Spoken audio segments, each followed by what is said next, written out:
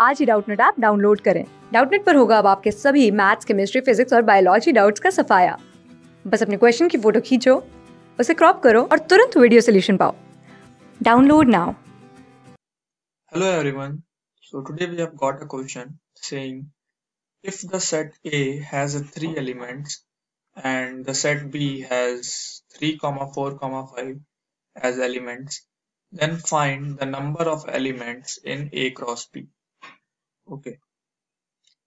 So let the elements of A be A comma B comma C. And we have given that b is 3 comma 4 comma 5 okay? So just uh, take a cross b.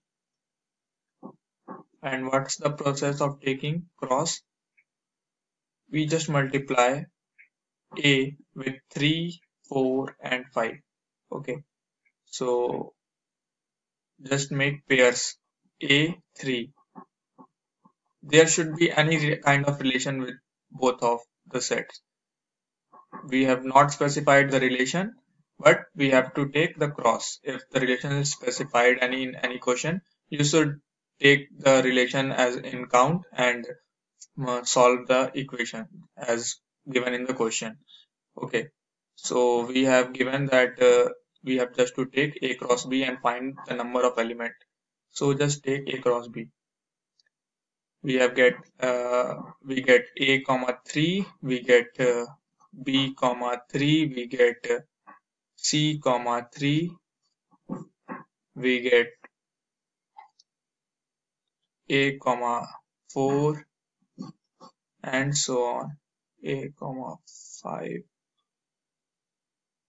uh, I think I have done a mistake here.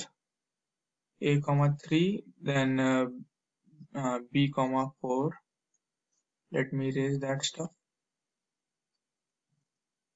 Okay. So b comma 4 c comma 4 then uh, a comma 5 b comma 5 and uh, c comma 5 okay so these are the terms. Then calculate. 1, 2, 3, 4, 5, 6, 7, 8, 9. So there are 9 terms, 9 elements in A cross B. We also have a short method. We have the formula for calculating the number of elements in A cross B. Uh, so the number of elements in A cross B is equal to number of elements in A into the number of elements in B.